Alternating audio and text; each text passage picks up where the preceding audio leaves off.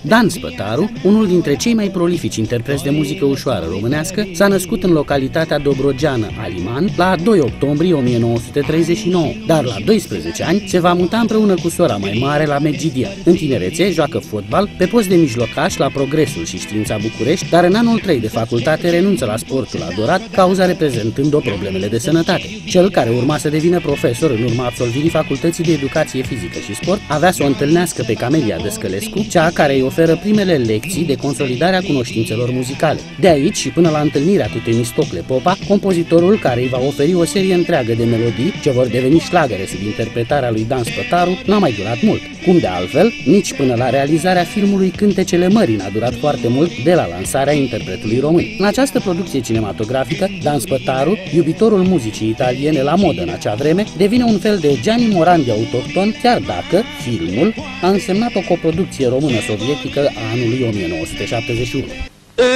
Într-un glas amândoi să cântăm gitara mea Hai cântați toți cu noi Ce frumoasă dragostea La la la la la la la la la la la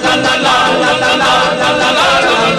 dacă între Dan Spătaru și protagonista coproducției Cântecele Mării ar fi existat o poveste de dragoste, nu se știe exact și acest lucru nu pare atât de important. De apreciat este însă faptul că interpretul român a reușit să-și lase amprenta timbrului său vocal în memoria multor români care își aduc aminte de felul în care Dan Spătaru interpreta Țărâncuță, Țărâncuță sau Nicio lacrimă, Nu m-am gândit la despărțire, În rândul 4, Drumurile sau multe alte melodii. De altfel, Temistocle Popa spunea, ce a fost important pentru meseria mea și pentru Dan este că i-am ghicit timbrul și sufletul. Și tot de luat în seamă ar fi și declarația interpretului Constanțean care a afirmat prin 1967 la un festival internațional susținut în Cuba, ar fi fost aplaudat timp de 16 minute și 19 secunde în continuu, palmaresul lui Dan Spătaru fiind consemnat în vestita Cartea Recordurilor.